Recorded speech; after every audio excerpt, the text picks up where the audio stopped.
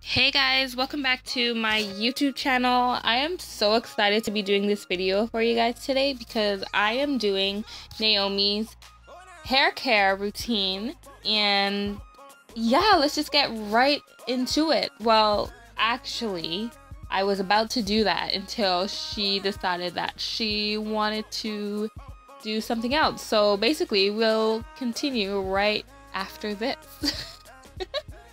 Oh my god. Oh my god, Chantal! She just shit in the pool. Oh my goodness. Yeah, so that happened. anyway, so I am in love with Shea Moisture products. Like, I am in love with them. I love to use the kids um, combination, the shampoo and the condition for her hair. It's the mango and carrot. It smells so good. It leaves her hair feeling so soft, moisturized. Like, no, really, I'm obsessed with. I'm seriously obsessed. Anyways, so after I finish shampooing her hair, I use the conditioner and I kind of just let it sit in her hair. So what I would do is comb it out. Um, it's so easy to comb it out because once again, it's just so soft. And she, so you want to wash your hair once a week or every other week. This will help prevent buildup of hair products, which can be damaging to the hair.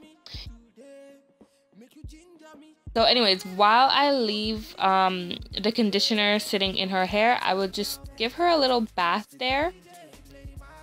So I know it's like really um, in there. I just let it sit for a little bit and I'll give her her little bath and then I'll wash it out.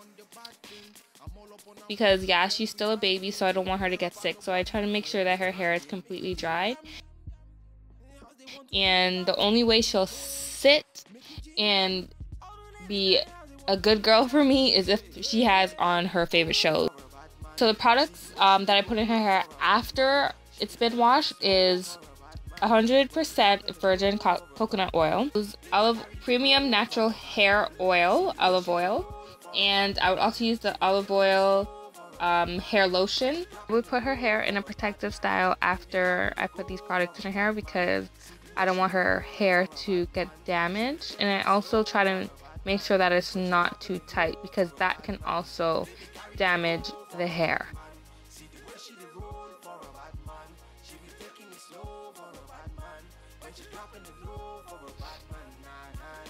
Anyway, so that is the end of the video. I hope you guys enjoyed this video. If you did, please let me know by hitting that thumbs up button so I know you guys enjoy these types of videos or you want to see more or whatever you guys want to see. Just put it in the comment section down below.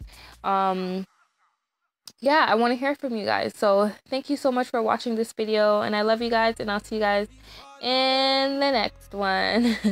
Bye guys